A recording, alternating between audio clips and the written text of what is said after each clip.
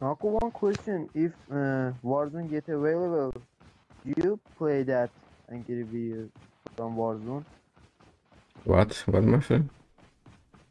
Uh, if Warzone get available, would you play that and The make flight video about that?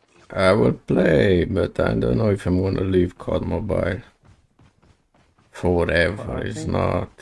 It's not like that. Probably I'm gonna play both games, something like that.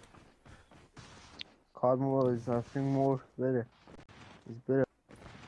Yeah, I cannot just leave it. I spent three years, my friend, on this game. I don't think. I, I mean, I play Apex for a while, but um, oh, no, I mean, I couldn't replace it. 200. Mechanic Sure. class user. Uh,